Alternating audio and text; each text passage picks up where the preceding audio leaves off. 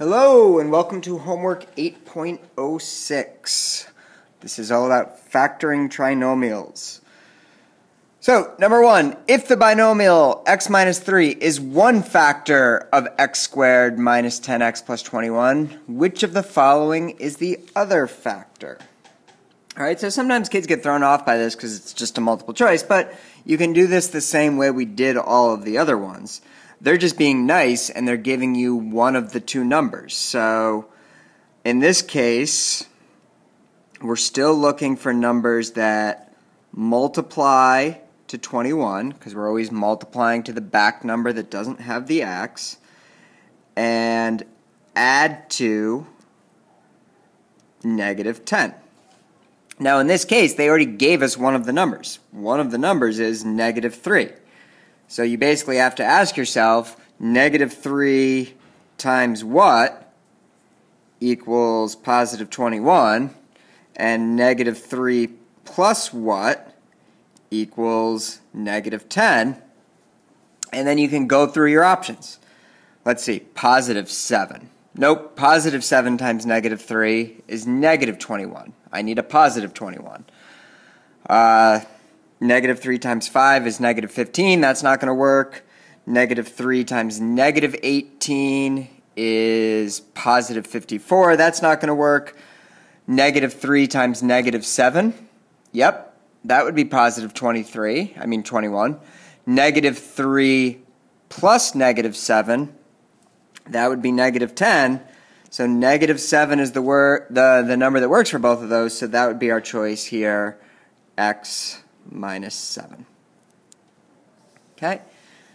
Let's take a look at what we have here. So really, all of the problems on this sheet are the same. It's just practice, practice, practice so that you get used to them. Um, so on number 2, we're looking for two numbers that multiply to a positive 6 and add to a positive 5. Again, we multiply to the number that doesn't have the x. We add to the number that does have the x.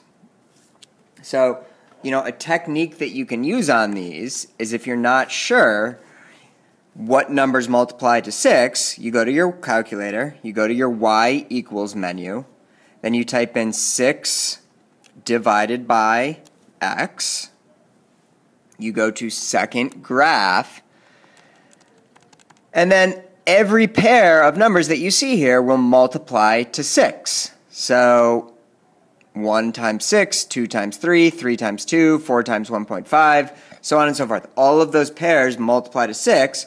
We're looking for the ones that add to positive 5. And here we go, 2 and 3 or 3 and 2. The order doesn't actually matter, so those, those two are, are basically the same. So this would be x plus 3, x plus 2. All right? So if we take a look at this next one here. All right, m squared plus 11m plus 18. We're looking for two numbers that multiply to 18, which means they have to add to 11. All right, so again, if you can do it in your head, that's totally fine. If you need the calculator to help, also cool. Just go to your y equals 18 divided by x, second graph, and then you just go through and say, all right, 1 and 18. Nope, doesn't add to 11. 2 and 9. Yep, those add to 11, so those must be my answers. M plus 2 in one of my parentheses, and m plus 9 in the other parentheses. Okay? Moving to number 4 here. Again, we multiply to the back number, which is 20. We add to the middle number that has the variable, which is 9. So we go to our y equals. We type in 20 divided by x. We scroll through until we find the ones that add to 9. 1 and 20, nope. 2 and 10, nope. That one's got a decimal, so nope. 4 and 5, yeah, 4 and 5 add to 9. So this is going to be r plus 4, r plus 5. Okay. We look at number 5, you're going to notice number 5 is just a little bit different than the other ones that we've done so far. And the reason is, is we're still multiplying to a positive number. We're multiplying to 12, but we are adding to a negative 7.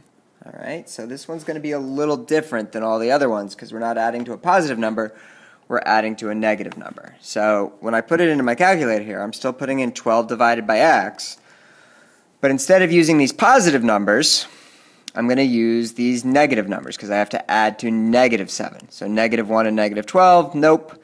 Negative 2 and negative 6, nope. Negative 3 and negative 4, yep, those add to negative 7. So when I write this, it's going to be x minus 3 times x minus 4. And the reason this works is a negative times a negative is a positive, but a negative plus a negative is still negative. All right, on this next one here, again, we're multiplying to a positive 6. We're adding to a positive 7. So again, if you need the calculator, just don't don't hesitate to use it and say, all right, um, I'm going to be on the positive side because I have to add to a positive number. And look at that, 1 and 6, the very first choice. So x plus 1, x plus 6. All right, on the next one, t squared plus 12t plus 36. So I'm just going to go and type 36 divided by x. It's a positive 12, so I'm going to be on the positive side. 1 and 36, nope. 2 and 18, nope. 3 and 12, nope. 4 and 9, no, it's getting closer, but nope. 6 and 6, yep. 6 and 6 adds to 12, so this is going to be t plus 6. Let's make that t look a little different than my plus sign. And t plus 6. Okay? All right, flipping over to the back. You're going to see it's just more of the same. And that's really all of this homework is, is just practicing these and getting comfortable with the process. So we're multiplying to 28. We're adding to 11. So we go to our calculator. We type in 28 divided by x. And then we go through 1 and 28, 2 and 14, 4 and 7. Yep, 4 plus 7 is 11. So this is p plus 4, p plus 7. Okay, on number 9, we have another one of these negative ones. So we're multiplying to a positive 18, but we're adding to a negative 9. All right, so that means both of our numbers are going to be negative because, again, a negative times a negative is a positive, but a negative plus a negative is still negative. So 18 divided by x, I'm going to go up here to the negative side and look for the ones that add to 9. And there we go, negative 3 plus negative 6. So this is v minus 3, v minus 6. Okay. 10 is another negative one. So again, we're going to be on the negative side, and this time we're multiplying to 30 and adding to negative 11. So 30 divided by x. Negative 11, let's see, nope, nope, nope.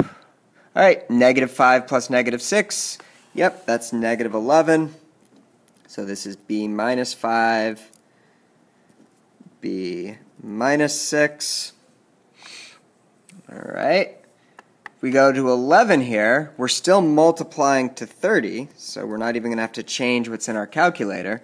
But this time we're adding to negative 13. So if I just go right back to my list here, let's see, 5 and 6 we know add to 11. Negative 3 and negative 10? Yep, that'll be a negative 13. So this is y minus 3, y minus 10. Okay. Last two here. All right, we're back to the positives. so this time we're multiplying to a positive 36 and adding to a positive 15. So let's type in 36 divided by x. All right, we're going to move back over to the positive side. 2 and 18, nope. 3 and 12, yep. 3 and 12 will add to 15, so x plus 3, x plus 12. And then last but not least, number 13 here. So we're trying to multiply to 40. Again, that's the one without the letter next to it. And we're adding to 13. So we go to y equals 40 divided by x. We're going to be on the positive side. 1 and 40, nope. 2 and 20, nope. 4 and 10, nope.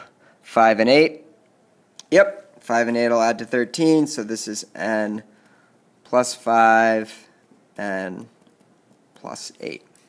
All right, and that wraps up this homework. I hope this was helpful and have a good day.